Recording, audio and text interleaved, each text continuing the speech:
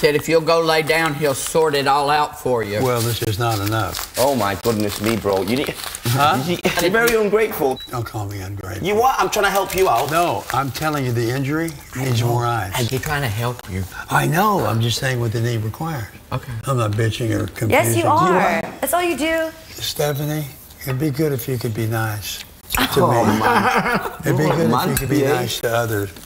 Just not you. I don't Why? like you. What? I'm nice to everyone. Hey, yo, do you want to go lie down in your bed? I can't hear you. Do you Stephanie. want to go lie down in your bed? You want to? Place this Hang on, hang on, hang on, hang on, hang on. I've been doing this for a long time, Dave. Okay. So I know what to do. Okay, I'll leave it with you then. Cool, leave it with you. Right. Fucking prick. He's a dick. Absolutely ungrateful.